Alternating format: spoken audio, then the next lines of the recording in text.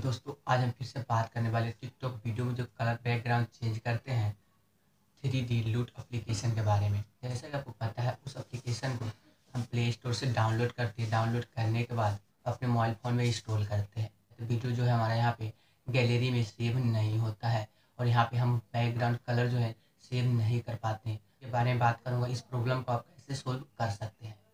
आगे बढ़ने से पहले बड़ा भाई का भी नाम जान लीजिए। मेरा नाम है शैलेंद्र, आप देख रहे हैं technical Shailendra YouTube channel. Channel पे पहली बार आता चैनल को सब्सक्राइब कर लीजिए। यहाँ पे आपको जेनवन कंटेंट मिलता रहता है।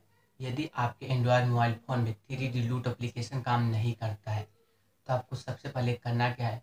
जो भी आपने अपने मोबाइल फ़ोन में थ्री डी लूट अप्लीकेशन को डाउनलोड किया है, सबसे पहले उसे अनइंस्टॉल करना है।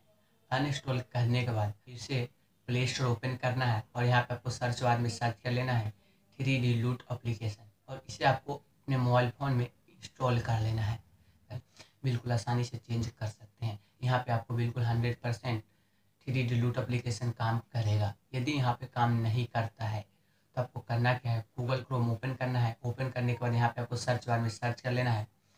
Three D loot A P K file आपको फ़र्स्ट वाले लिंक को ओपन करना है। ओपन करने के बाद आपको यहाँ पे डाउनलोड कर लेना है। डाउनलोड करने के बाद आपको यहाँ से आपको बिल्कुल आसानी से वीडियो का बैकग्राउंड चेंज कर सकते हैं, क्योंकि तो हमारा भी यहाँ पे सेव नहीं हो पा रहा था। मैंने भी ऐसा ही किया, इसे पहले अनइंस्टॉल किया था। अनइंस्टॉल करने के बाद फिर से मैं गूगल क्रोम से थ्री डी लूट अप्लीकेशन को डाउनलोड किया था।